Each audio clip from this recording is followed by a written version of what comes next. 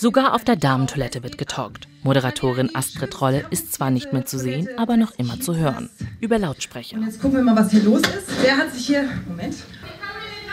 Pass auf. Versuch mal. So, komm, wir lassen das mal mit dem Händewaschen. Das ist ja auch völlig überschätzt. Und Astrid Rolle taucht wieder im Blickfeld des Publikums auf. An ihrer Seite Comedian und Moderatorin Martina Schönherr.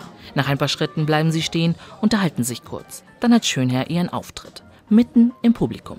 Und genauso nah soll der Abend auch weitergehen beim Talk Dot, der ersten Talkshow direkt vom Kiez. Das Besondere der Sendung für die Leute, die ins Cocoon kommen, ist einfach, dass sie nah dran sind, eine Clubsituation haben. Sie können an die Bar gehen, ohne dass jemand sagt, ah, bitte keine Bewegung. Und ähm, dann haben wir für die Leute, die das draußen im Netz gucken, eben eine komplette Sendung, weil die natürlich auch andere Ausschnitte sehen. Denn die Kamera äh, verfolgt uns ja sehr, sehr subjektiv. Wie zum Beispiel aufs Damenklo oder auf die Terrasse des Clubs, die in Richtung Millantor-Stadion zeigt.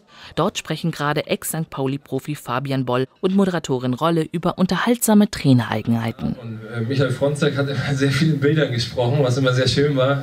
Auch viel aus der Tierwelt. Er hatte auch mal eine Beobachtung aus dem Hotelzimmer. Wir haben im Radisson geschlafen, das war unser Teamhotel, und er hat aus dem Fenster geguckt und da sah er auf dem Teich, wie ein Erpel eine Ente jagte. Und diese Aggressivität hat er von uns auch verlangt. Währenddessen nehmen Moderator Peter G. Dirmeier und Corny Littmann Platz auf der Bühne. Sie unterhalten sich über Littmanns politische und kulturelle Karriere, seine Zeit als St. Pauli-Vereinspräsident und die etwas andere Spiegelaffäre Littmanns in den 80er Jahren, als in Hamburg Homosexuelle durch Einwegspiegel auf öffentlichen Toiletten beobachtet wurden. Wir haben dann festgestellt, dass es am Alsteranleger Jungfernstieg eine relativ neue Toilette gibt, wo es auch diesen Spiegel gab. Wir waren mit Fotografen, da habe ich einen Hammer genommen und äh, auf Kommando dann 1, 2, 3 den Spiegel zerschlagen. Dahinter war ein Raum, es war kein Polizist dahinter.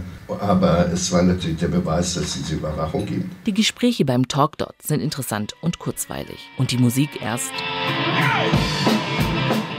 Ein schöner Abend.